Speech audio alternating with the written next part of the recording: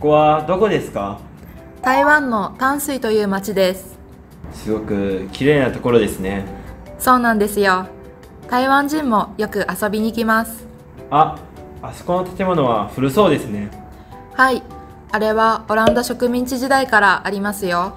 へえそうですか。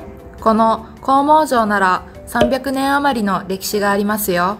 すごいですねそれからここは国家戸籍にも指定されています。こんな歴史的な建物を見ることができて本当に良かったです。記念に写真を撮ろうと思います。あそこの広場は黄毛城で一番の撮影スポットです。では後でぜひ写真を撮りたいです。また淡水河と観音山の景色もいいですよ。夕日も綺麗なのでぜひ見てください。ありがとうございますどういたしまして